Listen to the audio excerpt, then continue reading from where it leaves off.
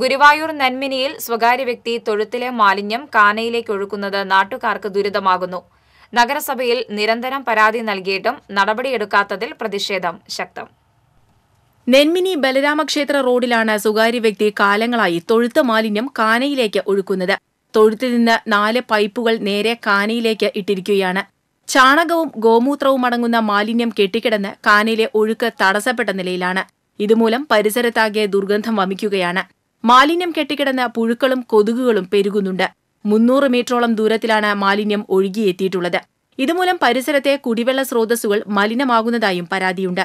കാനയ്ക്കരികിലൂടെ പോകുന്ന ജലാതോറിറ്റിയുടെ പൈപ്പ് പൊട്ടിയ മാലിന്യം കുടിവെള്ളത്തിൽ കലരുന്നത് പതിവായിരിക്കുകയാണെന്ന് നാട്ടുകാർ പറയുന്നു. വാർഡ്സഭയിലടക്കം ഇവിടുത്തെ കാനയുടെ കാര്യങ്ങൾ ഞങ്ങൾ സംസാരിച്ചിട്ടുണ്ടായിരുന്നു.